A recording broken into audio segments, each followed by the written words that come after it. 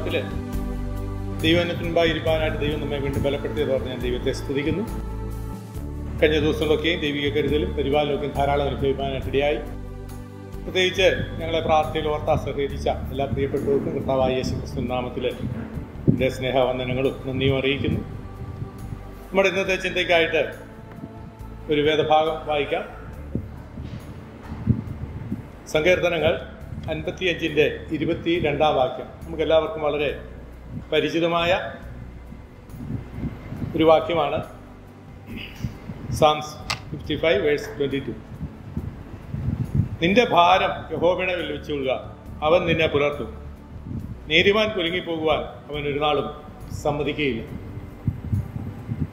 ഈ വിഷയത്തെ അധിഷ്ഠിതമായിട്ട് നാം പലപ്പോഴും അനേക ചിന്തകൾ പങ്കുവച്ചിട്ടുള്ളവരാണ് കേട്ടിട്ടുള്ളവരാണ്. നമ്മുടെ ജീവിതത്തിലെ ജീവിതത്തെ വളരെയധികം സ്വാധീനിച്ചിട്ടുള്ളതാണ്. എന്റെയും ജീവിതത്തിൽ ഈ നാളുകളിൽ ചിന്തിക്കുകയും ദൈവകൃപയിൽ ശരണപ്പെടുവാൻ ഇടയാകുകയും ചെയ്തിട്ടുള്ള ഒരു വാക്യശകലമാണ് ഞാൻ വായിച്ചത്. ജീവിതത്തിൽ ഭാരങ്ങളുടെ മധ്യത്തിൽ ദൈവിക കരുതൽ ധാരാളമായിട്ട് അനുഭവിക്കാനായിട്ട് ഇടയായിത്തീരുന്ന അനുഭവം. നിന്റെ ഭാരം യഹോയുടെ മേൽ വെച്ചുകൊള്ളുക അവൻ നിന്നെ പുലർത്തും. ദൈവമക്കളെ നമ്മുടെ എല്ലാവരുടെയും ജീവിതത്തിൽ പല നിലയിലുള്ള ഭാരങ്ങൾ അല്ലെങ്കിൽ വേദനകൾ അനുഭവിച്ചിട്ടുള്ളവരാണ് അഭിമുഖീകരിച്ചിട്ടുള്ളവരാണ് നമ്മൾ ഓരോരുത്തരും. അത് വ്യത്യസ്ത നിലവാരത്തിലായിരുന്നു എന്ന് മാത്രം. എന്നാൽ ഒരു ദൈവവിധനെ സംബന്ധിച്ചിടത്തോളം അല്ലെങ്കിൽ ഏതൊരു വ്യക്തിയെ സംബന്ധിച്ചിടത്തോളവും ഒരു ലോകത്തിലെ ജീവിക്കുന്ന കാലഘട്ടങ്ങളിൽ പല നിലയുള്ള അനുഭവം ആ നിലയുള്ള ഭാരങ്ങളിൽ കൂടെയും വേദനകളിൽ കൂടെയും ഒക്കെയും കടന്നു പോകേണ്ടതുവരാണ് നമ്മൾ ഓരോരുത്തരും അതിൽ നിന്ന് നമ്മൾ ആരും വ്യത്യസ്തരല്ല. മനുഷ്യൻ അഭിമുഖീകരിക്കുന്ന ഭാരങ്ങളെ നമുക്ക് വേണമെങ്കിൽ മൂന്നായിട്ട് തരംതിരിക്കാം. ഒന്ന് പാപഭാരം. അത് നമ്മളൊക്കെ ആ അനുഭവത്തിൽ കൂടെ കടന്നു പോയിട്ടുള്ളവരാണ്. കർത്താവ് തന്നെ പറഞ്ഞു മത്തായി സുവിശേഷം പതിനൊന്നാം അധ്യായത്തിന്റെ ഇരുപത്തിയെട്ടാം വാക്യത്തിൽ അധ്വാനിക്കുന്നവരും ഭാരം ചുമക്കുന്നവരുമായുള്ളവർ നിങ്ങൾ എന്റെ അടുക്കൽ വരുവിൻ. ഞാൻ നിങ്ങളെ ആശ്വസിപ്പിക്കും. ആശ്വാസം കണ്ടെത്തുവാൻ ഏറ്റവും അടിസ്ഥാനപരമായി കർത്താവിലേക്ക് കടന്നു വരിക എന്നുള്ളതാണ് ആവശ്യമായിട്ടുള്ളത്. ദൈവജനം അത് വളരെ വ്യക്തമായ നിലയിൽ നമ്മെ ഓർപ്പിക്കുന്നുണ്ട്.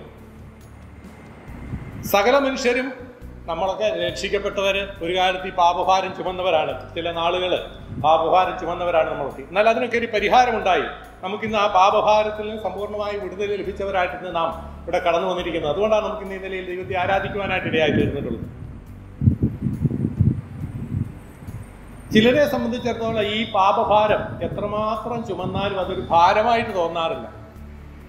അല്ലെങ്കിൽ പാപം എത്രമാത്രം അഭിമുഖീകരിച്ചാലും എത്രമാത്രം ആസ്വദിച്ചാലും തൃപ്തി വരുന്ന ഒരു അനുഭവം ചിലരുടെ ജീവിതത്തിലല്ല. അത് നമുക്കറിയാം ആരാണ്. ഇന്ന് രാവിലെ നമ്മൾ സങ്കീർത്തനത്തിൽ ഓർപ്പിച്ചതുപോലെ അതിക്രമങ്ങളാലും പാപങ്ങളാലും മരിച്ച ഒരു കൂട്ടരുണ്ട്. അവർക്ക് എത്ര പാപഭാരം വർദ്ധിച്ചാലും അവർക്കതൊരു ഭാരമായിട്ട് തോന്നാറില്ല. കാരണം ഒരു മരിച്ചവരാണ്. ഒരു മൃതശരീരത്തിൽ എത്ര ഭാരം വെച്ചാലും ഒരിക്കലും അതൊരു ഭാരമായിട്ട് ആ വ്യക്തിക്ക് തോന്നാറില്ല. കാരണം അവനിൽ ജീവനില്ല. അപ്പൊ ജീവനില്ലാത്ത വ്യക്തിക്ക് ഈ ഭാരം എത്ര വേണമെങ്കിലും വഹിക്കുവാനായിട്ട് കഴിയും. അവർക്കതൊരു വിഷയമേ അല്ല. എന്നാൽ ദൈവമക്കളെ നമുക്ക് നമ്മെ സംബന്ധിച്ചിടത്തോളം നമ്മുടെ ജീവിതത്തിൽ ഒരു ഭാരം അല്ലെങ്കിൽ ഒരു പാപം കടന്നു വരുമ്പോൾ അത് നമുക്ക് വലിയ ഭാരമായിട്ട് തോന്നാറുണ്ട്. നാം നമ്മുടെ നിലവാരം വിട്ട് അല്ലെങ്കിൽ ദൈവവചനപ്രകാരം പറഞ്ഞിരിക്കുന്ന അപ്പുറത്ത് അപ്പുറത്തേക്ക് നാം ഒരു ചുവട് വെക്കുമ്പോൾ അത് നമ്മുടെ ജീവിതത്തിലെ ഭാരമുളവാക്കും എന്തുകൊണ്ടാണ് ഒരു രക്ഷിക്കപ്പെട്ട ഒരു ദൈവത്തിന്റെ ജീവിതത്തിൽ അല്ലെങ്കിൽ നിത്യജീവന്റെ അവകാശികളായിരിക്കുന്ന ഒരു വ്യക്തിയുടെ ജീവിതത്തിൽ ആ നിലയുള്ള ഒരു ഭാരം കടന്നു വരുമ്പോൾ അത് അവർക്ക് വലിയ പ്രയാസമായിട്ട് അനുഭവപ്പെടാറുണ്ട്. നമുക്കറിയാം നമ്മളൊക്കെ രക്ഷിക്കപ്പെട്ടത് എങ്ങനെയാണ്? കർത്താവ് യേശു ക്രിസ്തുവിൽ വിശ്വസിച്ചത് മുഖാന്തരമാണ് നമുക്ക് ഈ ഭാരം നീങ്ങുവാനായിട്ട് ഇടയായി തീർന്നത് അത് ആ വ്യക്തിയെ അല്ലെങ്കിൽ പാപഭാരം നീക്കുവാൻ കഴിയുള്ള വ്യക്തിയെ യോനാൻ സ്നാപൻ ഒരിക്കൽ അഭിമുഖീകരിച്ചപ്പോൾ താൻ ഇങ്ങനെ പറയുന്നു. എന്താണ്? യോനാന്റെ സുവിശേഷം ഒന്നാം അധ്യായത്തിൽ ഇരുപത്തൊമ്പതാം വാക്യത്തിൽ നാം ഇങ്ങനെ വായിക്കുന്നത് ആ ലോകത്തിന്റെ പാപം ചുമക്കുന്ന ദൈവത്തിന്റെ കുഞ്ഞാട് ഈ പാപഭാരം വഹിക്കുവാനായിട്ട് ലോകത്തിലേക്ക് അവതരിച്ച ആ കുഞ്ഞാടിനെ ചൂണ്ടിക്കാണിച്ചുകൊണ്ട് യോഹനാൻ പറയാണ് ഇതാ നോക്കൂ ലോകത്തിന്റെ ഭാര പാപത്തെ ചുമക്കുന്ന ദൈവത്തിന്റെ കുഞ്ഞാട്. മാത്രമല്ല ഈ കർത്താവിന് പാപത്തെ സമ പരിപൂർണമായി പരിഹരിക്കുവാനായിട്ട് കഴിവുള്ളവനാണ്. അല്ലെങ്കിൽ അവൻ പരിഹരിച്ചവനാണ്. പാപങ്ങൾക്ക് സമ്പൂർണമായ പരിഹാരം നാം അത് ഇന്ന് രാവിലെ ഓർക്കുവാനായിട്ട് ഇടയായി തീർന്നു മാത്രമല്ല ഒന്ന് പത്രോസ് രണ്ടിന്റെ ഇരുപത്തിനാലിൽ നാം ഇങ്ങനെ വായിക്കുന്നു. പാപം സംബന്ധിച്ച് മരിച്ച് നീതിക്ക് ജീവിക്കേണ്ടതിന് അവൻ നമ്മുടെ പാപങ്ങളെ ചുമന്നുകൊണ്ട് ക്രൂശിന്മേൽ കയറി. അവന്റെ അടിപ്പിണരുകളാൽ നമുക്ക് സൗഖ്യം വന്നു. പാപം സംബന്ധിച്ച് മരിച്ച് നീതിക്ക് ജീവിക്കേണ്ടതിന് അവൻ തന്റെ ശരീരത്തിൽ നമ്മുടെ പാപങ്ങളെ ചുമന്നുകൊണ്ട് ക്രൂശിന്മേൽ കയറി.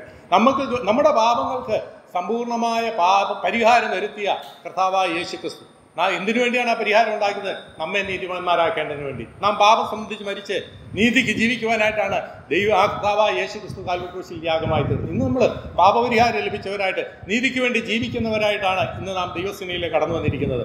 നമുക്ക് അനുഗ്രഹീതമായ ഓർമ്മകൾ ഇന്ന് പകൽക്കാലം പങ്കിടുവാനായിട്ട് ഇടയായി തീർന്നു നാം എവിടെയായിരുന്നു എന്നുള്ളത് നാം ചിന്തിക്കും ഇന്ന് പകൽക്കാലം ചിന്തിച്ചു. അതിക്രമങ്ങളിലും പാപങ്ങളിലും മരിച്ചവരായിരുന്നു. മാത്രമല്ല നാം പ്രകൃതിയാൽ കോപത്തിന്റെ മക്കളായിരുന്നു. നാം പ്രകൃതിയാൽ ജാതികളായിരുന്നു. വളരെ വിദൂരതയിലായിരുന്നു. ഈ വാക്കുകളൊക്കെ ഈ ചിന്തകളൊക്കെ ഇന്ന് പകൽക്കാലവും നമ്മുടെ ജീവിതത്തിൽ കൂടെ കടന്നു പോകാനായിട്ട് ഇടയായി തീർന്നു ആ പാപപരിഹാരം ലഭിച്ച ദൈവമക്കളാണ് ഇന്ന് നമ്മൾ ഓരോരുത്തരും. ഞാൻ ഓർപ്പിക്കട്ടെ ആരെങ്കിലും അങ്ങനെ പാപപരിഹാരം ലഭിക്കാത്തവരായിട്ടുണ്ടെങ്കിൽ പാപഭാര പരിഹാരം ഒരുക്കിയ കർത്താവായ യേശു ക്രിസ്തുവിൽ വിശ്വസിക്കുന്ന ഏവനും നിത്യജീവന് അവകാശിയായിട്ട് തീരുവാനായിട്ട് സാധിക്കും. പാപമറിയാത്ത കർത്താവായ യേശു ക്രിസ്തു പാപപരിഹാരം ഒരുക്കിയവനാണ്. അതുകൊണ്ട് ഇന്ന് അവനിൽ വിശ്വസിക്കുന്ന ഏവർക്കും നിത്യജീവന്റെ അവകാശികളായിട്ട് തീരുവാനുള്ള വലിയ അനുഗ്രഹീതമായ അവസരങ്ങളാണ് ദൈവം നമുക്ക് തന്നിരിക്കുന്നത്. അല്ലെങ്കിൽ നമ്മെ പോലുള്ള അനേകർക്ക് ഇന്നും ലഭിക്കാത്തതായ അവസരം ലഭിക്കുവാനുള്ള ഏക മാർഗം എന്ന് പറയുന്നത് കർത്താവായ യേശു ക്രിസ്തു രക്ഷാമാർഗം യേശു ക്രിസ്തു മാത്രമേ ഉള്ളൂ. അവനിൽ വിശ്വസിക്കുന്നവർക്ക് നിത്യരക്ഷ അവകാശമാക്കുവാനായിട്ട് കഴിയും. ഇന്ന് നമുക്ക് ആ നിലയിൽ പാപഭാരം നീങ്ങിയവരായിട്ട് പാപമോചനം പ്രാപിച്ചവരായിട്ട് നീതിക്ക് വേണ്ടി ജീവിക്കുവാനായിട്ട് തെരഞ്ഞെടുക്കപ്പെട്ട ദൈവമക്കളാണ് നമ്മൾ ഓരോരുത്തരും. നാം ഓർത്തു നാം അഭിമുഖീകരിക്കുന്ന ഒന്നാമത്തെ പ്രശ്നം ആദ്യമായി നാം ജീവിതത്തിൽ അഭിമുഖീകരിച്ച ഭാരമാണ് പാപഭാരം. എന്നാൽ രണ്ടാമത് നാം ഇന്ന് പലരും അഭിമുഖീകരിക്കുന്ന യഥാർത്ഥത്തിൽ അഭിമുഖീകരിക്കുവാൻ ആവശ്യമില്ലാത്ത ഒരു ഭാര ഒരു ഭാരമുണ്ട്. അത് ജീവിതഭാരമാണ്. നാം ഇപ്പോൾ ഈ സങ്കീർത്തനത്തിൽ വായിച്ചത് അതാണ്. നിന്റെ ഭാരം യഹോവയുടെ മേൽ വെച്ചുകൊള്ളുക. അവൻ നിന്നെ പുലർത്തും. അപ്പോൾ എങ്ങനെ മുൻപോട്ട് പോകും? എങ്ങനെ അടുത്ത ദിവസം നമുക്ക് അഭിമുഖീകരിക്കുവാനായിട്ട് സാധിക്കും എന്നുള്ള ഭാരം പലപ്പോഴും നമ്മുടെ ജീവിതത്തിൽ നമ്മെ അലട്ടാറുണ്ട്. നാളെ നാളെയെക്കുറിച്ചുള്ള ഭാരം. ഞാനിങ്ങനെ പറയാം ഞാനിങ്ങനെ പറയട്ടെ. പാപഭാരം മാറിയാൽ നമ്മെ ഏറ്റവും അധികം സ്വാധീനിക്കുന്ന അലട്ടുന്ന ഒരു ഭാരമാണ് ജീവിതഭാരം. യഥാർത്ഥത്തിൽ കർത്താവ് തന്നെ പറയുന്നത് എന്താണ്? ഇവിടെ ദാവിത് പറയാണ് നിന്റെ ഭാരം യഹോവിടെ മേൽ വെച്ചുള്ള. ഈ ജീവിതഭാരം താങ്ങുവാനായിട്ട് ഒരു വ്യക്തി എപ്പോഴും നമ്മോട് കൂടെയുണ്ട് അവൻ പറയാണ് എന്ത് പറയാണ്? നിന്റെ ഭാരം നിന്റെ മേൽ ഇട്ടുകൊള്ളുക. പത്രോസ് തന്നെ പറയുന്നുണ്ട്. ഇതിനെക്കുറിച്ചും വിചാരപ്പെടരുത്. ഫിലിപ്പ് ലേഖനത്തിലെ പൗലോസ് അപ്പോസ്തലൻ പറയുന്നുണ്ട്. എല്ലാറ്റിലും അപേക്ഷയാലും പ്രാർത്ഥനയാലും നിങ്ങളുടെ ആവശ്യങ്ങൾ സ്തോത്രത്തോടുകൂടി അറിയിക്കുക എത്ര വേണ്ടത്. എന്നാൽ സമാധാനത്തിന്റെ ദൈവം നിങ്ങളുടെ ഹൃദയങ്ങളെ ആ സർവാശ്വാസത്തിന്റെ ദൈവമായ ദൈവം നിങ്ങളുടെ ഹൃദയങ്ങളെ സമാധാനത്താൽ നിറയ്ക്കും. സമാധാനമില്ലാത്തൊരനുഭവമാണ് ജീവിതഭാരം എന്നുള്ളത്. അല്ലെങ്കിൽ നമ്മുടെ ജീവിതത്തിലെ ഭാരങ്ങൾ ജീവിത ഭാരങ്ങൾ വർദ്ധിക്കുമ്പോൾ നമ്മുടെ സമാധാനം നഷ്ടപ്പെടും. അത് സകല മനുഷ്യരുടെയും ജീവിതത്തിലെ ഒരു അനുഭവമാണ്. എന്നാൽ ഇതിൽ നിന്ന് പരിഹാരം പ്രാപിക്കുവാനുള്ള ഏക മാർഗമാണ് കർത്താവായ യേശു ക്രിസ്തുവിൽ കൂടെ ഒരുക്കി തന്നിരിക്കുന്നത്. പത്തായി സുവിശേഷം ആറാം അധ്യായത്തിന്റെ അനേക ഭാഗങ്ങളിൽ അനേക വാക്യങ്ങളിലായിട്ട് വായിക്കുവാനായിട്ട് ഞാൻ ആഗ്രഹിക്കുന്നില്ല. അനേക ഭാഗങ്ങളിൽ നമുക്കവിടെ കാണുവാനായിട്ട് കഴിയും. എന്താണ് അവിടെ പറയുന്നത്? നിങ്ങൾ വിചാരപ്പെടരുത്. നിങ്ങൾ വിചാരപ്പെടരുത്. വിചാരപ്പെടുവാൻ അനേക സാധ്യതകളുള്ള ഒരു ലോകത്തിലാണ് നമ്മൾ ജീവിക്കുന്നത്. എന്തൊക്കെയാണ് അവിടെ പറയുന്നുണ്ട്? ആഹാരം വസ്ത്രം പാർപ്പിടം. ഇതൊക്കെയാണ് പ്രധാന വിഷയങ്ങൾ. നമ്മൾ ചിന്തിച്ചാൽ നമ്മുടെയും ജീവിതത്തിലെ ഭാരപ്പെടുത്തുന്ന വിഷയങ്ങൾ ഇതൊക്കെയാണ് ഇതിനെക്കുറിച്ച് വിചാരപ്പെടുവാൻ ആവശ്യമില്ല. കാരണം എന്താ? നിങ്ങളുടെ പിതാവ് സൽഗുണപൂർണനാണ് ഈ ആവശ്യങ്ങളെല്ലാം എന്തെന്ന് അറിയും നിങ്ങളുടെ ആവശ്യങ്ങളൊക്കെ എന്താണെന്ന് അറിയുന്നവനാണ് നമ്മുടെ പിതാവ്. അപ്പം നമുക്കൊരു പിതാവുണ്ട്. അതുകൊണ്ട് നമുക്ക് ഇതിനെക്കുറിച്ച് ഭാരപ്പെടുവാനായിട്ട് ആവശ്യമില്ല. വിചാരപ്പെടരുത് എന്ന് നമ്മോട് വളരെ വ്യക്തമായ നിലയിൽ പറയും. അപ്പോൾ ഈ ജീവിതഭാരമൊക്കെയും നാം പലപ്പോഴും വഹിക്കാറുണ്ട്. ദൈവം ഇതല്ല ജീവിതത്തിൽ കൂടുതൽ സമയം നമ്മൾ ഈ ജീവിതഭാരവുമായിട്ടാണ് മുന്നോട്ട് പോകുന്നത്. നമ്മളൊന്ന് ചിന്തിച്ച് നോക്കിയേ. ഇവിടെ നിന്ന് ചിന്തിച്ച് നോക്കിയാൽ നമുക്കറിയാൻ സാധിക്കും. നമ്മുടെ ജീവിതത്തിൽ ഏറ്റവും ഭാരപ്പെടുത്തുന്ന വിഷയം എന്താണ് നമുക്ക് ഭാരപ്പെടുവാനായിട്ട് കർത്താവ് പറഞ്ഞിരിക്കുന്ന ചില വിഷയങ്ങളുണ്ട്. അത് കുറേ ഓർപ്പിക്കാം. എന്നാൽ യഥാർത്ഥത്തിൽ ഭാരപ്പെടേണ്ട എന്ന് കർത്താവ് പറഞ്ഞിരിക്കുന്ന വിഷയങ്ങളെ കുറിച്ചാണ് നമ്മുടെയൊക്കെ ജീവിതത്തിൽ നമ്മൾ വളരെയധികം സമയങ്ങൾ ഭാരപ്പെട്ടുകൊണ്ടിരിക്കുന്നത് വിചാരപ്പെട്ടുകൊണ്ടിരിക്കുന്നത്. നമുക്ക് ആ നിലയിലുള്ള ഭാരങ്ങളൊക്കെ ഇറക്കി വയ്ക്കുവാനായിട്ട് കർത്താവ് തന്നെ നമ്മോട് കൂടെയുണ്ട്. ഞാൻ നിന്നെ ഒരു നാളും കൈവിടുകയില്ല എന്ന് പറഞ്ഞ കർത്താവ് നമ്മോട് കൂടെ ഉള്ളതുകൊണ്ട് നമ്മുടെ സകല ഭാരങ്ങളും നമ്മുടെ ജീവിത ഭാരങ്ങളൊക്കെയും അവങ്കിൽ ഇറക്കി വയ്ക്കാം. നാം എബ്രാഹിലേനും രണ്ടാം അധ്യായത്തിന്റെ രണ്ടാം വാക്യത്തിൽ നാം ഇങ്ങനെയാണ് വായിക്കുന്നത്. എന്താണ് വായിക്കുന്നത് നമുക്ക് നമുക്കറിയാം. എങ്കിലും ഞാൻ വായിക്കട്ടെ. സകല ഭാരവും പുറകെ പറ്റുന്ന പാപവും വിട്ട് നമുക്ക് മുമ്പിൽ വെച്ചിരിക്കുന്ന ഓട്ടം സ്ഥിരതയോടെ ഓടുക. ദൈവമക്കളായിരിക്കും നമ്മെ സംബന്ധിച്ചിടത്തോളം ദൈവം ആഗ്രഹിക്കുന്നത്. ദൈവ ആത്മാവ് നമ്മളെക്കുറിച്ച് ഉദ്ദേശിക്കുന്നത് സകല ഭാരവും പുറകെ പറ്റുന്ന പാപവും വിട്ട് നമുക്ക് മുമ്പിൽ വെച്ചിരിക്കുന്ന ഓട്ടം സ്ഥിരതയോടുകൂടെ ഓടണം.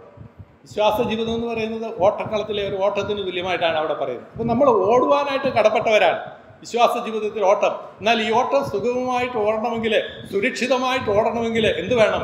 സകല ഭാരവും മുറുകെ പറ്റുന്ന പാപവും ഇട്ട് നമുക്ക് മുമ്പിൽ വെച്ചിരിക്കുന്ന ഓട്ടം സ്ഥിരതയോടുകൂടി. അപ്പം സ്ഥിരതയോടുകൂടെ ഓടുവാനായിട്ടുള്ള ഒരു അത്യാവശ്യമായിരിക്കുന്ന ഘടകമാണ് നമ്മുടെ ഭാരങ്ങളൊക്കെ ഒഴിവാക്കുക എന്നത് നമ്മുടെ ഭാരം ഒഴിവാക്കിയെങ്കിൽ മാത്രമേ നമ്മുടെ ഓട്ടം സ്ഥിരമാവുകയുള്ളൂ. അല്ലെങ്കിൽ നമ്മുടെ ഓട്ടം വലിയ പരാജയത്തിലേക്ക് നീങ്ങും. അപ്പം കർത്താവ് തന്നെ പറയുന്നുണ്ട് നിങ്ങൾ ഈ ഭാരമൊക്കെ വെക്കുക ഒഴിവാക്കുക ഈ ഭാരം എന്റെ മേലിട്ടുകൊള്ളുക അല്ലെങ്കിൽ കർത്താവ് ഈ ഭാരമൊക്കെ നമ്മുടെ ഈ ഭാരമൊക്കെ ചുമക്കുവാനായിട്ട് സന്നദ്ധനായിട്ട് എപ്പോഴും നമ്മോട് കൂടെയുണ്ട്. നമ്മോട് കൂടെയുണ്ട് നിന്റെ ഭാരം അല്ലെങ്കിൽ എന്റെ ഭാരം എന്താണെന്ന് അറിയുന്നവനാണ് അത് ചുമക്കുവാനായിട്ട് എപ്പോഴും നമ്മോട് കൂടെയുണ്ട്. അതുകൊണ്ട് എന്ത് ചെയ്യണം? നമ്മുടെ ഭാരമൊക്കെ അവങ്കിലേക്ക് ഇറക്കി വെക്കുക എന്നുള്ളത് മാത്രമാണ് ഇതിനുള്ള ഉപാധി. നാം സ്ഥിരതയോടുകൂടി ഓടുവാനുള്ള ഘടകമെന്ന് പറയുന്നത് ഈ ഓട്ട സ്ഥിരതയോടെ ഓടുവാൻ ഈ ഭാരമൊക്കെ ഒഴിവാക്കുക. ജീവിതത്തെക്കുറിച്ചുള്ള ഭാരം നമ്മുടെ ജീവിതത്തിൽ അനേക ഭാരങ്ങളുണ്ട് അല്ലേ? നവംബർ ഓർപ്പിച്ചതുപോലെ നമ്മുടെ വസ്ത്രത്തിന് വസ്ത്രത്തിന് വേണ്ടി ആഹാരത്തിന് വേണ്ടി പാർപ്പിടത്തിന് വേണ്ടി നമ്മുടെ മക്കൾക്ക് വേണ്ടി അവരുടെ ആവശ്യങ്ങൾക്ക് വേണ്ടി അവരുടെ വിദ്യാഭ്യാസ നിലവാരങ്ങൾക്ക് വേണ്ടി ഒക്കെ നമ്മൾ വളരെ ഭാരപ്പെടുകയും അധ്വാനിക്കുകയും ചെയ്യുന്നവരാണ്. എന്നാൽ കഥാവ് പറയുന്നത് നിന്റെ ഭാരം എന്റെ മേൽ ഇട്ടുകൊള്ളു നമ്മൾ അധ്വാനിക്കുകയോ നാം ജോലിയോ വേണ്ട എന്നുള്ള അർത്ഥത്തിലല്ല. എന്നാൽ നാം അതിനെക്കുറിച്ച് ഭാരപ്പെട്ട് ഭാരപ്പെട്ട് എന്ത് സംഭവിക്കും നാളെയെക്കുറിച്ച് നാം വിചാരപ്പെടുന്നത് പലപ്പോഴും നമ്മുടെ ആത്മജീവിതത്തിലെ പരാജയത്തിന് കാരണമായി തീരും. അത്യാവശ്യ വിശേഷത്തിൽ ആറാം അധ്യായത്തിൽ നമുക്കത് കാണുവാനായിട്ട് കഴിയും. നിങ്ങൾ വിചാരപ്പെടുന്നതിനാൽ നിങ്ങളുടെ നീളത്തോട് ഒരു മുഴമെങ്കിലും നമുക്ക് കൂട്ടുവാനായിട്ട് കഴിയും. അതുപോലെ നമ്മുടെ നമ്മുടെ നരച്ചമുടി ഒന്ന് കറുപ്പിപ്പാൻ കഴിയുമോ? നമ്മൾ എത്ര വിചാരപ്പെട്ടാലും സാധിക്കാത്ത കാര്യങ്ങളാണ്. അപ്പം നമുക്ക് ആ നമ്മുടെ മുമ്പിൽ അവശേഷിച്ചിരിക്കുന്ന ഏക മാർഗം എന്ന് പറയുന്നത് നമ്മുടെ സകല ഭാരങ്ങൾക്ക് ജീവിത ഭാരങ്ങൾക്ക് പരിഹാരം ഉണ്ടാക്കുക എന്നുള്ളത് കർത്താവായ യേശു ക്രിസ്തുവിൽ ദൈവത്തിൽ ആശ്രയിക്കുക എന്നുള്ളത് മാത്രമാണ് അതുകൊണ്ട് സാധിച്ചെടുക്കുവാൻ കഴിയണമെങ്കിൽ അല്ലെങ്കിൽ നമ്മുടെ ഉദ്ദേശങ്ങളൊക്കെ ആ നിലയിൽ സബലീകരിക്കപ്പെടണമെങ്കിൽ നമ്മുടെ ആവശ്യങ്ങളൊക്കെ ദൈവസേനയിൽ വെച്ച് പ്രാർത്ഥിക്കുക ദൈവകരങ്ങളിൽ ഏൽപ്പിക്കുക എന്നുള്ളത് മാത്രമാണ് എന്നാൽ മൂന്നാമതായിട്ട് മറ്റൊരു ഭാരത്തെക്കുറിച്ച് ചില വാക്ക് ചിന്തകൾ ഒന്നിച്ച് പങ്കുവയ്ക്കുവാനായിട്ട് ഞാൻ ആഗ്രഹിക്കുന്നു. മൂന്നാമത്തെ ഒരു ഭാരമുണ്ട്. അത് നാം ചുമക്കേണ്ട ഭാരം. അല്ലെങ്കിൽ നമുക്കതിനെ ഇങ്ങനെ പറയാം. കർത്താവ് തരുന്ന ഭാരം. ചില ഭാരങ്ങൾ കർത്താവ് നമുക്ക് തരും. അത് നാം ചുമക്കുവാൻ കടപ്പെട്ടവരാണ് ബാധ്യസ്ഥരാണ്. അതിൽ നിന്ന് നമുക്ക് ഒഴിഞ്ഞു മാറുവാൻ പറ്റിയില്ല. പക്ഷെ നമ്മൾ പലപ്പോഴും ചെയ്യുന്നത് ചുമക്കേണ്ട എന്ന് പറയുന്ന ഭാരങ്ങൾ നമ്മൾ ചുമക്കുകയും ചുമക്കണമെന്ന് കർത്താവ് നമ്മളോട് പറഞ്ഞിരിക്കുന്ന ഭാരങ്ങളിൽ നിന്ന് ഒഴിവാകുകയും ചെയ്യുന്ന മനോഭാവമാണ് നമ്മുടെയൊക്കെയും ജീവിതത്തിൽ. ഒരു വിശ്വാസിനും ജീവിതത്തിൽ എല്ലാവരുടെയും ജീവിതത്തിൽ അങ്ങനെയാണ് സംഭവിക്കുന്നത്? ദൈവങ്ങളെ നാം പാപഭാരം ഒഴിഞ്ഞവരാണ്. അതുപോലെ തന്നെ നമ്മുടെ ജീവിതഭാരവും ഒഴിവാക്കുവാനായിട്ട് നാം തയ്യാറാകേണ്ടതാണ്. എന്നാൽ മൂന്നാമതായി നാം ഓർത്തതുപോലെ കർത്താവ് തരുന്ന ഭാരങ്ങൾ നാം ചുമന്നേ മതിയാകുകയുള്ളൂ. അത് ചുമക്കുവാനായിട്ടാണ് കർത്താവ് നമുക്ക് തരുന്നത്. മാത്രമല്ല ഈ കർത്താവ് തരുന്ന ഭാരങ്ങളൊക്കെ സ്നേഹത്തിന്റെ ഭാരങ്ങളാണ്. ദൈവം നമ്മെ സ്നേഹിക്കുന്നു എന്നുള്ളതിന്റെ അടയാളമാണ്. ദൈവം നമ്മെ കരുതുന്നു എന്നുള്ളതിന്റെ വ്യക്തമായ അനുഭവങ്ങളാണ് ഈ നിലയിലുള്ള ഭാരങ്ങൾ. അതുകൊണ്ട് നമുക്ക് നിരാശപ്പെടുവാനായിട്ട് ആവശ്യമില്ല. നമുക്ക് ഭാരപ്പെടുവാനായിട്ട് ആവശ്യമില്ല. ദൈവം നമ്മെ സ്നേഹിക്കുന്നതിന്റെ അടയാളമായിട്ട് നമുക്ക് തരുന്ന ചില ചുമടുകളൊക്കെ നാം അനുദിനം ചുമക്കുവാനായിട്ട് കടപ്പെട്ടവരാണ് ബാധ്യസ്ഥരാണ്. ആ നിലയിൽ നമുക്ക് ആ ഭാരങ്ങളെ ഒഴിവാക്കാതെ ഒഴിവാക്കേണ്ട ഭാരങ്ങളെ ഒഴിവാക്കുകയും സ്വീകരിക്കേണ്ട ഭാരങ്ങളെ സ്വീകരിച്ചുകൊണ്ട് ക്രിസ്തീയ ജീവിതം വിജയകരമായിട്ട് മുൻപോട്ട് പോകുവാനായിട്ട് ഇടയാകുകയും ചെയ്യട്ടെ. ഒന്നാമതായിട്ട് ഈ ഭാരം കർത്താവ് ചുമക്കുവാൻ നമുക്ക് തന്നിട്ടുള്ള ഭാരങ്ങൾ. ഒന്ന് മത്തായി സുവിശേഷം പതിനാറിന്റെ ഇരുപത്തിനാലിൽ നമുക്ക് കാണുവാനായിട്ട് കഴിയും. മത്തായി സുവിശേഷം പതിനാറിന്റെ ഇരുപത്തിനാല്.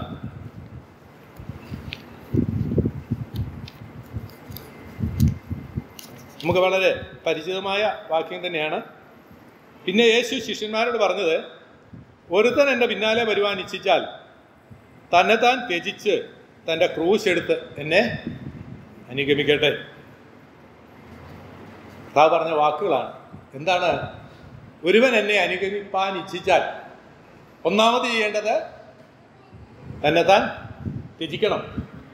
നമ്മുടെ സ്വയം ഇല്ലാതാകണം. അപ്പം സ്വയം ത്യജിച്ചുകൊണ്ട് ക്രൂ ക്രൂശ് എടുത്ത് അനുഗമിക്കണം. ആരുടെ ക്രൂശ്? ഏ? ആരുടെ ക്രൂശാണ് നമ്മളെ ചുമക്കേണ്ടത്? എന്റെ ക്രൂശ് തന്റെ ക്രൂശ്. കർത്താവിന്റെ ക്രൂശ് ചുമക്കാൻ നമുക്ക് സാധ്യമല്ല തന്റെ ക്രൂശ്. എന്താണ് നമ്മുടെ ക്രൂശ്? ചില പ്രതിസന്ധികൾ ചില കഷ്ടതകൾ ഇതൊക്കെ ദൈവം നമുക്ക് തരുന്ന ക്രൂശാണ്. അല്ലെങ്കിൽ നമ്മുടെ ജീവിതത്തിൽ വെളിപ്പെടേണ്ട അനുഭവങ്ങളാണ് എന്നുള്ളത് നാം മനസ്സിലാക്കുക. നാം സ്വന്തം ക്രൂശ് എടുത്തുകൊണ്ട് അല്ലെങ്കിൽ നമ്മുടെ കഷ്ടാനുഭവം നമ്മെ കഷ്ടതയിൽ കൂടെ കടത്തി വിടുമ്പോൾ അതിനോട് അനുകൂലമായി പ്രതികരിച്ച് ആ കഷ്ടാനുഭവങ്ങളിൽ കൂടെ കടന്നു പോകുവാൻ കർത്താവിനെ മഹത്വപ്പെടുത്തിക്കൊണ്ട് ജീവിപ്പാൻ തക്കണം ഇടയായിട്ട് നമുക്ക് കർത്താവ് കഷ്ടത തരുമോ? കർത്താവ് നമുക്ക് കഷ്ടത തരുമോ? തരും. എന്തിനു വേണ്ടിയാ? അതിലെ ദൈവനാമം മഹത്വപ്പെടണം. അല്ലെങ്കിൽ നാം ആത്മീയമായി വളരണം. നമുക്കറിയാം അനേക അനുഭവങ്ങൾ ദൈവവചനത്തിൽ നമുക്കത് കാണുവാനായിട്ട് പെട്ടെന്ന് നമ്മുടെ ഓർമ്മയിൽ വരുന്ന ഒരു വ്യക്തിയാണ് യോബ് യോബിന്റെ ജീവിതത്തിൽ വളരെ പ്രതിസന്ധികളെ അഭിമുഖീകരിക്കേണ്ടി വന്നു. തന്റെ ജീവിതത്തിൽ യാതൊരു പാപവും ചെയ്തിട്ട് അല്ലെങ്കിൽ ദൈവത്തിന്റെ ശിക്ഷ എന്ന് പറയുന്ന ഒരു ഘടകമല്ല ആ കഷ്ടതകൾക്കൊക്കെയും കാരണം. ദൈവത്തെ അനുസരിക്കാൻ എന്നതിന്റെ അടിസ്ഥാനത്തിലല്ല പിന്നെയോ ദൈവം ഇയോബിനെ സ്നേഹിക്കുന്നു എന്നുള്ളതിന്റെ വ്യക്തമായ തെളിവായിരുന്നു ജീവിതത്തിൽ കടന്നു വന്ന ആ കഷ്ടതകൾ. പിശാചവനെ പരീക്ഷിച്ചതാണ് എങ്കിലും കർത്താവ് സമ്മതിക്കാതെ യഹോവയെ ദൈവം സമ്മതിക്കാതെ ഒന്നും സംഭവിക്കുന്നില്ല. അല്ലെങ്കിൽ ദൈവം സമ്മതിക്കാതെ ഒന്നും സംഭവിക്കുന്നില്ല എന്നുള്ള ഇയോബിന്റെ ജീവിതത്തിൽ നമുക്ക് കാണുവാനായിട്ട് കഴിയും. നമ്മുടെ ജീവിതത്തിലോ നമ്മുടെ ജീവിതത്തിൽ ദൈവം സമ്മതിക്കാതെ ഒന്നും സംഭവിക്കുന്നില്ല. അപ്പോൾ എന്തെങ്കിലും നമ്മുടെ ജീവിതത്തിൽ പ്രതിസന്ധി ഉണ്ടായിട്ടുണ്ടെങ്കിൽ കഷ്ടത ഉണ്ടായിട്ടുണ്ടെങ്കിൽ അത് ദൈവം പൂർണമായിട്ട് സമ്മതിച്ചിട്ട് മാത്രമാണ് അങ്ങനെ ഒരു അനുഭവം നമ്മുടെ ജീവിതത്തിൽ ഉണ്ടാകുന്നത് അതുകൊണ്ട് നമ്മുടെ ജീവിതത്തിൽ ഉണ്ടാകുന്ന പ്രതിസന്ധികളോട് നമുക്ക് ആ നിലയിലുള്ള മനോഭാവം ഉണ്ടാകുവാനായിട്ട് ഇടയായി തരണം കർത്താവ് സമ്മതിച്ചിട്ടാണ് കർത്താവാണ് എന്റെ ജീവിതത്തിൽ ഈ അനുഭവത്തിൽ കൂടെ എന്നെ കടത്തിവിടുന്നത് എന്നുള്ളത് നാം ചിന്തിക്കുവാനായിട്ട് ഇടയായി തരണം മറ്റൊരു കാര്യം അയ്യോബിന്റെ ജീവിതത്തിൽ നമുക്കറിയാം അനേക പ്രതിസന്ധികൾ കൂടെ കടന്നുപോയി. എല്ലാവരും പ്രതികൂലമായി അല്ലേ? എന്നെ കാണുവാൻ നിന്ന സഹോദരന്മാർ പിശാ സാത്താന് അവനെ പരീക്ഷിച്ചു. മാത്രമല്ല ഒരു നിലയിൽ പറഞ്ഞാൽ തന്റെ ഭാര്യയിൽ കൂടെ പോലും ഈ സാത്താൻ പ്രവർത്തിച്ചു. അവിടെയൊക്കെയും സമ്പൂർണ വിജയം നേടുവാനായിട്ട് യോബിന് കഴിഞ്ഞു. യോഗ പറയാണ് നീ പൊട്ടി സംസാരിക്കുന്നത് പോലെ സംസാരിക്കുന്നു. തന്റെ ജീവിതത്തിൽ ഉണ്ടായ പ്രതിസന്ധികളുടെ മധ്യത്തിൽ യോഗ ഒട്ടുപോലും വിട്ടുകൊടുക്കാതെ കർത്താവിന് വേണ്ടി പൂർണമായി സമർപ്പിക്കപ്പെട്ടവനായിട്ട് നിലനിൽക്കുവാനായിട്ട് ഇടയായത് മാത്രമല്ല ജീവിതത്തിലെ കഷ്ടത വരുമ്പോൾ നമ്മുടെയൊക്കെ ജീവിതത്തിലെ പ്രതിസന്ധികൾ വരുമ്പോൾ നാം ഒരു കാര്യം വളരെ വ്യക്തമായ നിലയിൽ മനസ്സിലാക്കുക.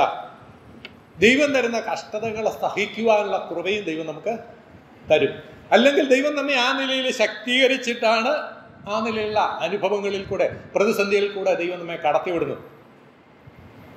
ദൈവം സർവജ്ഞാനിയായ ദൈവമാണ്. എന്റെയും നിങ്ങളുടെയും കപ്പാസിറ്റി എന്താണ്? എനിക്ക് നിങ്ങൾക്ക് എത്രമാത്രം സഹിക്കുവാനായിട്ട് കഴിയും? പ്രതിസന്ധികളെ അഭിമുഖീകരിക്കുവാനായിട്ട് കഴിയും എന്നുള്ളത് ദൈവത്തിനറിയാം അപ്പോൾ ആ നിലയിൽ ദൈവം പ്രതിസന്ധിയിൽ കൂടെ നമ്മെ കടത്തിവിടുമ്പോൾ നമ്മുടെ ഓരോരുത്തരെയും കഴിവിനനുസരിച്ച് നമ്മുടെയൊക്കെ ഈ അനുഭവത്തിനനുസരിച്ച് മാത്രമേ നമ്മെ ദൈവം പരീക്ഷയിൽ കൂടെ അല്ലെങ്കിൽ പ്രതിസന്ധിയിൽ കൂടെ കടത്തിവിടുകയുള്ളൂ. അപ്പം ദൈവം നമുക്ക് തരുന്ന കുരി ക്രൂശ് നമ്മുടെ നമുക്ക് സഹിക്കുവാനുള്ള ആ കഴിവിനപ്പുറത്ത് ഒരിക്കലും തരികയില്ല. അപ്പോൾ അതുകൊണ്ട് നമുക്ക് നമ്മെ സംബന്ധിച്ചിടത്തോളം ആ നിലയിൽ അതൊരു സന്തോഷത്തിന്റെ അനുഭവമായിട്ട് തീരണം. ദൈവം എന്നെ സ്നേഹിക്കുന്നു. നമുക്ക് ഓർപ്പിച്ചതുപോലെ ദൈവം എന്നെ സ്നേഹിക്കുന്നതിന്റെ അടയാളമായിട്ടാണ് ഈ കഷ്ടത എനിക്ക് വന്നത് എന്ന് നാം മനസ്സിലാക്കുവാനായിട്ട് ഇടയാക്കി വരണം അപ്പോൾ കഷ്ടത വരുമ്പോൾ അതുകൊണ്ട് നമ്മുടെ ജീവിതത്തിൽ ഒരു അനുഗ്രഹത്തിന്റെ അവസ്ഥകൾ അനുഭവങ്ങൾ ഉണ്ടാകുവാനായിട്ട് ഇടയായിട്ടാണ് അതുണ്ടാകുമോ? കഷ്ടത ജീവിതത്തിൽ കടന്നു വന്നാൽ എന്താണ് അതിന്റെ പരിണിത ഫലം നമ്മുടെയൊക്കെ ജീവിതത്തിൽ ഉണ്ടായിട്ടുണ്ടോ? ആ കഷ്ടതകൾ അഭിമുഖീകരിക്കാത്തവരാരും ഉണ്ടെന്ന് എനിക്ക് തോന്നുന്നില്ല. അത് കാഠിന്യം കാഠിന്യം കുറഞ്ഞതും കൂടിയതുമായ അനേക അനുഭവങ്ങൾ കൂടെയൊക്കെ നമ്മൾ ഓരോരുത്തരും കടന്നു പോയിട്ടുണ്ട് വ്യക്തിപരമായ ജീവിതത്തിൽ. എന്നാൽ അതിന്റെയൊക്കെ അനുഭവം എന്തായിരുന്നു? അനന്തര ഫലം എന്തായിരുന്നു? പ്രമാലേഖനം അഞ്ചാം അധ്യായത്തിന്റെ മൂന്നാം വാക്യത്തിൽ നാം വായിക്കുന്നു. അവിടെ ഇങ്ങനെയാണ് വായിക്കുന്നത്. ആ കഷ്ടത സഹിഷ്ണുതയെയും സഹിഷ്ണുത സിദ്ധതയെയും സിദ്ധത പ്രത്യാശയെ ഉളവാക്കുന്നു എന്നറിഞ്ഞ് കഷ്ടങ്ങളിൽ സന്തോഷിക്കുന്നു പ്രശംസിക്കുന്നു. നമ്മൾ കഷ്ടങ്ങളിൽ പ്രശംസിക്കുന്നത് എന്തുകൊണ്ടാണ് അല്ലെങ്കിൽ ഒരു ദൈവജനെ സംബന്ധിച്ചിടത്തോളം കഷ്ടങ്ങളിൽ പ്രശംസിക്കുവാനായിട്ട് ഇടയായി എന്താണ് കാരണം?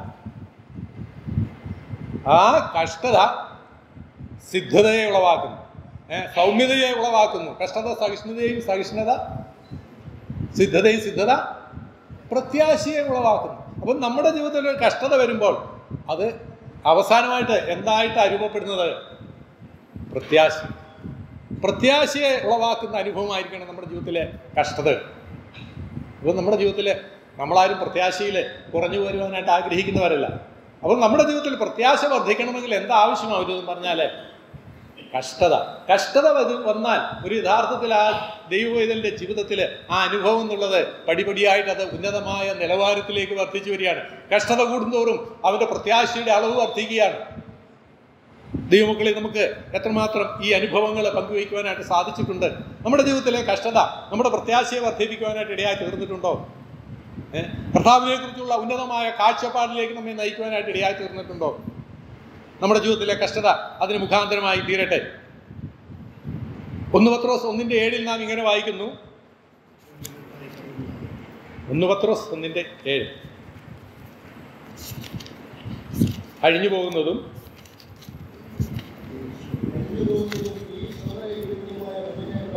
ആ.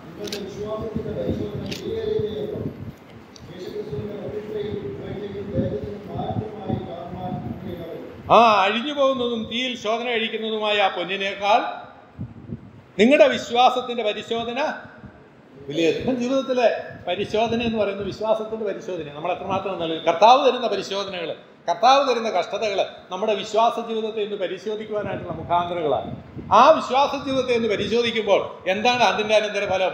മുമ്പേ ഓർത്തു നമ്മൾ പ്രത്യാശയിൽ ഉന്നത നിലവാരം പുലർത്തുവാനായിട്ട് കഴിയും. മാത്രമല്ല ഇവിടെ പറയുന്ന വിശ്വാസത്തിന്റെ പരിശോധന വിലയേറിയത്. ഒരു ദൈവത്തിനെ സംബന്ധിച്ചിടത്തോളം അവന്റെ ജീവിതത്തിൽ ഒരു വിലയേറിയ അനുഭവമായിട്ട് കാണുവാനായിട്ട് ഇടയാക്കിയാണ് എന്ത്? കഷ്ടത. പരിശോധന. അപ്പോൾ ഈ പരിശോധനയെക്കുറിച്ചൊക്കെ മറ്റു പല ഭാഗങ്ങളും നമുക്ക് കാണുവാനായിട്ട് കഴിയും. ഈ പത്രോസിന്റെ ലേഖനത്തിൽ തന്നെ നമുക്ക് കാണുവാനായിട്ട് കഴിയും. ക്രിസ്തുവിന്റെ കഷ്ടങ്ങൾക്ക് പങ്കുള്ളവരാകും തോറും സന്തോഷിച്ചോളൂ എന്ന് നാലാം അധ്യായത്തിൽ നമ്മൾ വായിക്കും അപ്പം നൊടുനേരത്തേക്കുള്ള ലഘുവായ കഷ്ടം എന്നൊക്കെ ഈ വിഷയത്തെക്കുറിച്ച് പരാമർശിക്കുന്നുണ്ട്. അതിലെടുത്ത് വായിക്കുവാനും ചർച്ച ചെയ്യുവാനായിട്ടുള്ള സന്ദർഭമില്ല അതുകൊണ്ട് ഞാൻ ഇങ്ങനെ ഓർപ്പിക്കട്ടെ. നമ്മുടെ ജീവിതത്തിൽ വരുന്ന കഷ്ടതകളൊക്കെ നമ്മുടെ പ്രത്യാശയെ ഉണർത്തുന്ന അനുഭവങ്ങളായിട്ട് തീരണം. കഷ്ടത സഹിഷ്ണുതയും സഹിഷ്ണുത സിദ്ധതയും സിദ്ധത പ്രത്യാശയും ഉളവാക്കുന്നു. മാത്രമല്ല നമ്മുടെ വിശ്വാസത്തിന്റെ പരിശോധന വിലയേറിയതെന്നറിയുവാൻ മനസ്സിലാക്കുവാനുള്ള മുഖാന്തരങ്ങളാക്കി ഇതൊക്കെ തീരട്ടെ. മറ്റൊന്ന് ദൈവം തരുന്ന കഷ്ടതകൾ അല്ലെങ്കിൽ ദൈവം തരുന്ന വരങ്ങൾ അല്ലെങ്കിൽ കർത്താവ് തരുന്ന ഭാരം എന്ന് പറയുന്നത് ഒരു മുഖം വഹിക്കുക എന്നുള്ളതാണ്. ഒന്ന് നമ്മൾ പറഞ്ഞു ക്രൂശ് എടുക്കണം. ആരുടെ ക്രൂശ്? നമ്മുടെ ക്രൂശ് എടുത്ത്. ആ നല്ലൊരു ശിഷ്യനായിരിക്കണമെങ്കിൽ നമ്മുടെ ക്രൂശ് എടുത്ത് നാം കർത്താവിനെ അനുഗമിക്കണം. രണ്ട് നാം അവന്റെ മുഖം ഏറ്റെടുക്കണം. മുഖം ഏറ്റെടുക്കുക.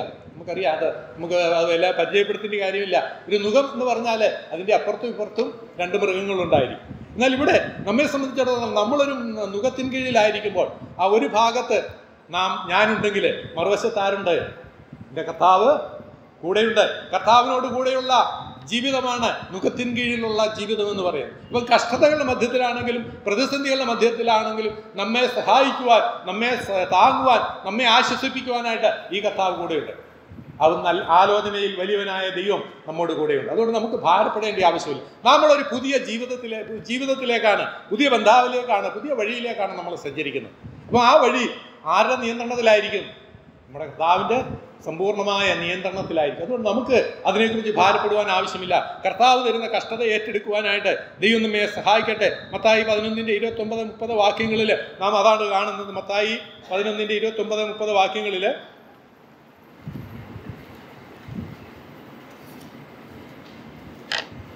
ഞാൻ സൗമ്യതയും താഴ്മയും ഉള്ളവനാകിയാൽ എന്റെ മുഖം ഏറ്റുകൊണ്ട് എന്നോട് പഠി അത് മുഖം ഏൽക്കുക എന്ന് പറഞ്ഞാൽ കർത്താവിനോട് ചേർന്ന് പഠിക്കുന്ന ഒരു അനുഭവമാണ്. ജീവിതത്തിലെ രൂപാന്തര അനുഭവങ്ങൾ ഉണ്ടാകുന്ന ഒരു വസ്തുതയാണ്. അപ്പം നമുക്ക് ഈ മുഖം ഏറ്റുകൊണ്ട് മുൻപോട്ട് പോകുമ്പോൾ നാം കർത്താവിൽ നിന്ന് ചിലതൊക്കെ പഠിക്കുവാനുള്ള മുഖാന്തരങ്ങളായിട്ട് അത് തീരട്ടെ. മാത്രമല്ല അവിടെ നാം അടുത്ത വാക്യത്തിൽ നാം വായിക്കുന്നത് എന്നാൽ നിങ്ങളുടെ ആത്മാക്കൾക്ക് ആശ്വാസം കണ്ടെത്തും. എന്റെ മുഖം മൃദുവും എന്റെ ചുമട് ലഘുമായി നമ്മുടെ വായിക്കുന്നത്. അതിന് മുമ്പ് അതിന്റെ ഇരുപത്തി എട്ടാം വാക്യത്തിൽ പറയുന്നുണ്ട് അധ്വാനിക്കുന്നവരും ഭാരം ചുമക്കുന്നവരുമായുള്ളവർ നിങ്ങൾ എന്റെ അടുക്കൽ വരുവിൻ ഞാൻ നിങ്ങളെ ആശ്വസിപ്പിക്കും. ആ അധ്വാനിക്കുന്നവർ പാപഭാരം ചുമക്കുന്നവരുടെ പാപഭാരത്തിന് സമ്പൂർണമായ പരിഹാരം ഒരുക്കിയിട്ടാണ് കർത്താവ് പറയുന്നത് എന്ത്? നിങ്ങൾ എന്റെ മുഖം ഏറ്റെടുക്കും. ഇപ്പോൾ ഒരു വിശ്വാസി ഒരു ദൈവവിതൽ പാപഭാരം വിട്ടൊഴിഞ്ഞ ഒരു ദൈവവിതലിനെ സംബന്ധിച്ചിടത്തോളം അവൻ ഈ മുഖം ഏറ്റെടുക്കുവാൻ തയ്യാറാകേണ്ടത് ഏറ്റവും ആവശ്യമാണ്. അപ്പം പാപഭാരത്തിൽ നിന്ന് വിടുതൽ ലഭിച്ച ഒരു ദൈവത്തിനെ സംബന്ധിച്ചിടത്തോളം അവന് ഈ മുഖം ഏറ്റെടുത്തുകൊണ്ട് കർത്താവിനോട് ചേർന്ന് നടക്കുവാനായിട്ട് ഇടയായിത്തീരണം കർത്താവിൽ നിന്ന് ചിലത് പഠിക്കുവാനായിട്ട് ഇടയായിത്തീരണം മാത്രമല്ല എപ്പോഴും ദൈവിക സാന്നിധ്യം അനുഭവിക്കുവാനായിട്ട് ഇടയായിത്തീരും ദൈവങ്ങളെ നമുക്ക് എത്രമാത്രം ആ മുഖം ചുമക്കുവാനായിട്ട് ഇടയായി തീർന്നിട്ടുണ്ട് ഏഴ് ഒരാഴ്ചയിൽ ഏഴ് ദിവസങ്ങളുണ്ടെങ്കിൽ ഏഴ് ദിവസവും ഈ മുഖം ചുമന്നുകൊണ്ട് കർത്താവിനോട് കൂടെ നമുക്ക് സഞ്ചരിക്കുവാനായിട്ട് സാധിക്കുന്നുണ്ടോ? പലപ്പോഴും ഞായറാഴ്ച മാത്രമായിരിക്കും ഈ മുഖം നമ്മളെടുത്ത് വെക്കുന്നത്. രാവിലെ ഞായറാഴ്ച രാവിലെ ഉണർന്ന് എഴുന്നേറ്റ് കഴിയുമ്പോഴായിരിക്കും മുഖം നമ്മൾ വെച്ചിട്ട് ഹോളിലേക്ക് കടന്നു വരുന്നു. അത് കഴിഞ്ഞാലോ? പിന്നെ നമ്മുടെ നമ്മൾ എവിടെയായിരിക്കും? നുഖ ഒക്കെ അഴിച്ചു വെക്കും. മുഖത്തിന് കീഴിൽ നിന്ന് നമ്മൾ മോചനം പ്രാപിക്കും. പിന്നെ നമ്മുടേതായ തീരുമാനപ്രകാരം ജീവിതഭാരവും ചുമന്നുകൊണ്ട് മുൻപോട്ട് പോകുവാനായിട്ടാണ് പിന്നീട് നമ്മൾ ആഗ്രഹിക്കാറുള്ളത്. ദൈവമക്കളെ നാം നമ്മ നമ്മെ തന്നെ പരിശോധിക്കുക. നമുക്ക് എത്രമാത്രം ഈ മുഖം വഹിക്കുവാനായിട്ട് ഇടയായി തീർന്നിട്ടുണ്ട്. ഒരു മുഖത്തിന്റെ ഒരു ഭാഗം നമ്മുടെ കർത്താവിന്റെ കഴുത്തിലാണ് ഇരിക്കുന്നത്. ഒരു മുഖ ആ മുഖത്തിന്റെ മറ്റേ ഭാഗമാണ് നമ്മുടെ കരങ്ങൾ നമ്മുടെ കഴുത്തിലുള്ളത് എങ്കിലേ നമുക്ക് അധൈര്യപ്പെടുവാനോ ക്ഷീണിക്കുവാനോ യാതൊരു കാര്യമില്ല. എല്ലായ്പ്പോഴും നമ്മോട് കൂടെ അവനുണ്ട് എന്നുള്ള ആസ്വാദ്യകരമായ അനുഭവം പങ്കിടുവാനായിട്ട് ദൈവം നമ്മെ ഓരോരുത്തരെ സഹായിക്കട്ടെ. മറ്റൊന്ന് ദൈവം നമുക്ക് തരുന്ന ചെറിയ ഭാരങ്ങളാണെന്ന് കർത്താവ് തരുന്ന ചില ശുശ്രൂഷകൾ ചില ശുശ്രൂഷകൾ. ആത്മീയമായ വളർച്ചയ്ക്ക് എന്റെയും മറ്റുള്ളവരുടെയും ആത്മീയമായ വളർച്ചയ്ക്ക് ചില ശുശ്രൂഷകൾ ചെയ്യുവാനായിട്ട് ദൈവം നമ്മെ വിളിച്ചിരിക്കുകയാണ് തിരഞ്ഞെടുത്തിരിക്കുകയാണ് അല്ലെങ്കിൽ അതിനുള്ള ഉത്തരവാദിത്വങ്ങൾ നമ്മെ പരിമേൽപ്പിച്ചിരിക്കുകയാണ്. നമുക്ക് അറിയാം കൊലോസിലേന് നാലാം അധ്യായത്തിന്റെ പതിനേഴാം വാക്യത്തിൽ അർഹിപ്പോസിനുള്ള ബന്ധത്തിൽ അവിടെ പറയുന്ന ഒരു വാക്ക് ഇങ്ങനെയാണ് കർത്താവിൽ ലഭിച്ച ശുശ്രൂഷ നിവർത്തിപ്പാൻ നോക്കണമെന്ന് അർഹിപ്പോസിനോട് പറയാം. അർഹിപ്പോസിന് പറയുവാനുള്ള ഒരു ഉപദേശം അല്ലെങ്കിൽ അർഹിപ്പോസിന് കൊടുക്കുവാനുള്ള ഒരു നിർദ്ദേശം എന്ന് പറയുന്നത് എന്താണ്? കർത്താവിൽ നിനക്ക് ലഭിച്ച ശുശ്രൂഷ. നിങ്ങൾക്ക് കർത്താവ് തന്ന ശുശ്രൂഷ നിവർത്തിപ്പാൻ നോക്കണം. അത് വളരെ അത്യാവശ്യമായിരിക്കുന്ന ഒരു കാര്യമാണ്. കർത്താവ് ചില ഉത്തരവാദിത്വങ്ങൾ നമ്മെ ഏൽപ്പിച്ചിട്ടുണ്ട്. അത് നമ്മുടെ ഭവനങ്ങളിലായിരിക്കാം നമ്മുടെ ചുറ്റുപാടുകളിലായിരിക്കാം നമ്മുടെ സമൂഹത്തിലായിരിക്കാം നമ്മുടെ സ്ഥലസഭയിലായിരിക്കാം. നമ്മുടെ ഉത്തരവാദിത്തങ്ങൾ നിർവഹിക്കുവാനായിട്ട് ദൈവം നമ്മെ ഓരോരുത്തരെയും സഹായിക്കട്ടെ. മാത്രമല്ല കർത്താവ് ഒരു ശുശ്രൂഷ യോഹന്നാൻ കൊടുക്കുന്നതായിട്ട് നമ്മൾ കാണുന്നുണ്ട്. അത് കർത്താവായ കർത്താവ് ക്രൂശിൽ കിടക്കുമ്പോൾ തന്നെ ഒരു ശുശ്രൂഷ യോഹന്നാനെ ഏൽപ്പിക്കുന്നുണ്ട്. അതെന്താണ്? ആ അമ്മയെ ശുശ്രൂഷിക്കും. ആ കുരിശിൽ കിടന്നുകൊണ്ട് പറയാണ് എന്താ പറഞ്ഞത്? അതിന്റെ തൊട്ടടുത്ത് യോഹന്നാനുണ്ട്. യേശുവിന്റെ അമ്മയും അറിയുകയുണ്ട് യോഹന്നാനോട് ഒരു വാക്ക് പറയുന്നു. ഇതാ നിന്റെ അമ്മ. അങ്ങനെ ആ ഒരു ഉത്തരവാദിത്വം പൂർണമായിട്ട് കർത്താവ് ആ ക്രൂശിൽ കിടന്നുകൊണ്ട് തന്നെ യോഹന്നാനെ ഏൽപ്പിച്ചു. എന്താ യോഹന്നാൻ ചെയ്തത്? അന്ന് മുതൽ അവൾ അവളെ എന്ത് ചെയ്തു? തന്റെ വീട്ടിൽ കൈക്കൊണ്ടു. അപ്പം പൂർണമായ ആ ഉത്തരവാദിത്വം ഏറ്റെടുത്ത് പൂർണ അനുസരണത്തോടെ മനോ ആ മനോഭാവത്തോടുകൂടെ യോഹനാൻ പ്രവർത്തിക്കുവാനായിട്ട് ഇടയായി തീർന്നു. അപ്പം നമുക്ക് ഈ കർത്താവ് പറയുന്ന ഏത് നിസ്സാര ശുശ്രൂഷകളാണെങ്കിലും കർത്താവിന് വേണ്ടി പ്രയോജനപ്പെടുവാൻ ഇടയായി തീരേണ്ടതിന് വേണ്ടി നമ്മുടെ ഉത്തരവാദിത്തങ്ങൾ സമ്പൂർണമായിട്ട് നിർവഹിക്കാം. കിലാത്തി ലേഖനത്തിൽ ആറിന്റെ അഞ്ചിൽ ഇങ്ങനെ വായിക്കുന്നു. ഓരോരുത്തരും താൻ താന്റെ ചുമട് ചുമക്കുമല്ലോ. ഓരോരുത്തരും താൻ താന്റെ ചുമട്. നമുക്ക് ദൈവം തന്നിരിക്കുന്ന ചുമടുകൾ ഭാരങ്ങൾ നാം തന്നെ ചുമക്കണം. അത് മറ്റാർക്കും കൊടുക്കാനായിട്ട് ഇടയായി തീരരുത്. നമ്മെ ഏൽപ്പിച്ചിരിക്കുന്ന ആ ഉത്തരവാദിത്വം നിർവഹിപ്പാൻ ആ ഭാരം നമുക്ക് തന്നെ ചുമക്കുവാനായിട്ട് ഇടയായി തീരട്ടെ. കാരണം ഇത് കർത്താവ് തന്ന ഭാരമാണ്. ലോകം തരുന്ന ചുറ്റുപാടുകൾ തരുന്ന ഭാരമല്ല ഈ നാം ചുമക്കേണ്ടത്. ദൈവം തരുന്ന കർത്താവ് തരുന്ന ഭാരം തന്നെ ചുമക്കുവാനായിട്ട് ഇടയായി തീരട്ടെ. പത്തായി ശേഷം ഇരുപത്തെട്ടാം അധ്യായത്തിന്റെ ഇരുപതാം വാക്യത്തിൽ നാം ഇങ്ങനെ വായിക്കുന്നു. പത്തായി സുവിശേഷം അതിന്റെ അവസാന ഭാഗം ഇരുപതാം വാക്യത്തിൽ ഞാൻ നിങ്ങളോട് കൽപ്പിച്ചതൊക്കെയും പ്രമാണിപ്പാൻ തക്കവണ്ണം ഉപദേശിച്ചും കൊണ്ട് സകല ജാതികളെയും ശിഷ്യരാക്കിക്കൊള്ളും ഞാനോ ലോകാവസാനത്തോളം എല്ലാ നാളും നിങ്ങളോടുകൂടെയുണ്ട്. നമ്മോടുകൂടെ എപ്പോഴും ഇരിക്കുന്ന ഒരു കർത്താവ് പറഞ്ഞ വാക്കുകളാണ്. എന്ത് എന്താ ചെയ്യേണ്ടത്? നമ്മുടെ ഉത്തരവാദിത്തങ്ങൾ എന്താണ്? ഞാൻ നിങ്ങളോട് കൽപ്പിച്ചതൊക്കെയും പ്രമാണിപ്പാൻ തക്കവണ്ണം ഉപദേശിച്ചും കൊണ്ട് സകല ജാതികളെയും ശിഷ്യരാക്കിക്കൊള്ളൂ ദൈവമക്കളെ നമ്മുടെ ഉത്തരവാദിത്തങ്ങൾ പൂർണമായി നിർവഹിക്കാനായിട്ട് ദൈവം നമ്മെ ഓരോരുത്തരെയും സഹായിക്കട്ടെ. ഒരു കാര്യം കൂടെ പറഞ്ഞുകൊണ്ട് ഞാൻ എന്റെ വാക്കുകൾ അവസാനിപ്പിക്കാം. ദൈവം തന്ന മറ്റു ചില ഉത്തരവാദിത്തങ്ങൾ. ദൈവം ചില താലന്തുകൾ നമ്മെ ഓരോരുത്തരെ ഏൽപ്പിച്ചിട്ടുണ്ട്. ചില താലന്തുകൾ അത് പൂർണമായി വിനിയോഗിക്കുവാൻ പ്രയോജനപ്പെടുത്തുവാനായിട്ട് ഇടയായിത്തരണം എന്തിനാണ് താലന്തുകൾ തന്നത്? നമുക്കറിയാം വാക്യം വായിക്കുന്നില്ല സമയക്കുറവുണ്ട്. മത്തായി ഇരുപത്തിയഞ്ചിന്റെ പതിനാല് ആ ഭാഗം നമുക്ക് അവിടെ നിന്ന് താഴേക്ക് വായിക്കുമ്പോൾ നമുക്കത് കാണുവാനായിട്ട് കഴിയും. യജമാനൻ തന്റെ ദാസന്മാരെ വിളിച്ചു താലന്തുകൾ വിഭാഗിച്ചു? അഞ്ച് രണ്ട് ഒന്ന്. ഈ നിലയിലാണ് അവർക്ക് താലന്തുകൾ കൊടുത്തത്. എന്തിനാണ് താലന്ത് കൊടുത്തത്? താൻ വരുവോളം വ്യാപാരം ചെയ്ത് ആ താലന്തുകൾ വർദ്ധിപ്പിക്കുവാനായിട്ടാണ് ആ യജമാനൻ ആ ദാസന്മാർക്ക് താലന്തുകളെ കൊടുത്തത്. മറ്റൊരു ഭാഗത്ത് ലുക്കോസിന്റെ സുവിശേഷത്തിൽ നമ്മൾ വായിക്കുന്നത് പത്ത് താലന്ത് ഓരോരുത്തർക്കായിട്ട് തിരിച്ചു കൊടുത്തായിട്ട് നാം വായിക്കുന്നു. അതിന്റെ ഉദ്ദേശം അതാണ്. അതെല്ലാം വിവരിക്കുവാനായിട്ട് ഞാൻ ആഗ്രഹിക്കുന്നത് എന്നാൽ ഈ താലന്ത് കൊടുത്തതിന്റെ ഉദ്ദേശം എന്ന് പറയുന്നത് എന്താണ്? താലന്ത് വ്യാപാരം ചെയ്യണം വർദ്ധിപ്പിക്കണം. യജമാനൻ വരുമ്പോൾ അത് തിരിച്ചു കൊടുക്കണം. അതിന്റെ കൃത്യമായ കണക്ക് യജമാനെ ഏൽപ്പിക്കേണ്ടത് വളരെ അനിവാര്യമായ ഒരു കാര്യമാണ്. യജമാനൻ മടങ്ങി വന്നു. എല്ലാവരോടും കണക്ക് ചോദിക്കണം അല്ലേ? എല്ലാവരെയും ഏൽപ്പിച്ച താലന്തുകളുടെ കണക്ക് ഓരോ എല്ലാവരോടും ഒന്നിച്ചല്ല ചോദിക്കുന്നത്? എങ്ങനെയാണ് ഓരോരുത്തരോട് ഓരോരുത്തരോട് ദൈവം ഏൽപ്പിച്ച ആ കണക്ക് ചോദിക്കേണ്ടി വരും. നമ്മളോടും കർത്താവ് ദിവസത്തിൽ ചോദിക്കും. എന്ത് ചോദിക്കും? നിന്നെ ഞാൻ ഏൽപ്പിച്ച താലന്ത് ഇവിടെ നിന്നെ ഏൽപ്പിച്ച താലന്ത് എത്രമാത്രം വ്യാപാരം ചെയ്തു അത് എത്രമാത്രം വർദ്ധിപ്പിച്ചു അത് എത്രമാത്രം മറ്റുള്ളവർക്ക് പ്രയോജനകരമായി തീർന്നു എന്നുള്ളത് എന്നോട് നിങ്ങളോടും ചോദിക്കും. നാം ക്രിസ്തുവിന്റെ വിശ്വാസികൾ എവിടെ നിൽക്കേണ്ടി വരുന്ന കണക്ക് ബോധിപ്പിക്കുവാൻ. ക്രിസ്തുവിന്റെ ന്യായാസനത്തിന് മുൻപാകെ നമ്മൾ ഓരോരുത്തരും നിൽക്കുമ്പോൾ ആ വലിയ ചോദ്യം ചോദ്യ ചിഹ്നമായിട്ട് തീരുവാൻ ഇടയായി തീരരുത്. അതിന് വ്യക്തമായ മറുപടി കൊടുക്കുവാൻ ദൈവം നമ്മെ ഓരോരുത്തരെയും ഈ ദിവസങ്ങളിൽ ബലപ്പെടുത്തുമാറാകട്ടെ. കർത്താവിന് വേണ്ടി ജീവിക്കുവാൻ കർത്താവിന് വേണ്ടി സമർപ്പിക്കപ്പെട്ട ജീവിതം നയിക്കുവാൻ കർത്താവ് ഏൽപ്പിച്ചിരിക്കുന്ന താലന്തുകൾ നമ്മൾ പുതിയ നിയമത്തിൽ പഠിച്ചാലും താലന്തുകളുടെ ഒരു വലിയ ഗണം തന്നെ അവിടെ നമുക്ക് കാണുവാനായിട്ട് കഴിയും. എന്ന് പറഞ്ഞാൽ ഏതാണ്ട് പത്തൊൻപത് താലന്തുകളെ കുറിച്ച് പുതിയ നിയമത്തിൽ പരാമർശിച്ചിട്ടുണ്ട്. അടിസ്ഥാനപരമായ രണ്ട് താലന്തുകളുണ്ട്. നീങ്ങിപ്പോയിരിക്കുന്ന ചില താലന്തുകൾ ഏകദേശം ഏഴ് താലന്തുകൾ പിന്നെ ഇന്ന് നിലനിൽക്കുന്ന പത്ത് താലന്തുകൾ ബൈബിൾ ദൈവജനത്തിൽ തന്നെ പരാമർശിച്ചിട്ടുണ്ട്. അപ്പൊ ഈ താലന്തുകൾ നമ്മ നമുക്ക് ഓരോരുത്തർക്കും പല താലന്തുകളായിരിക്കും തന്നിരിക്കുക എല്ലാവർക്കും ഒരേ താലന്തുകളല്ല. വ്യത്യസ്ത താലന്തുകൾ ലഭിച്ച നാം എന്തിനു വേണ്ടിയാണ് ആ താലന്തുകൾ നമുക്ക് തന്നിരിക്കുന്നത്? ഏ? ക്രിസ്തുവിന്റെ സഭയുടെ ആത്മീയ വർധനയ്ക്ക് ആത്മീയ വർധനയ്ക്ക് വേണ്ടിയാണ് മറ്റുള്ളവരുടെ ആത്മീയ വർധനയ്ക്ക് വേണ്ടി ലഭിച്ചിരിക്കുന്ന താലന്തുകൾ എത്രമാത്രം പ്രയോജനപ്പെടുത്തി.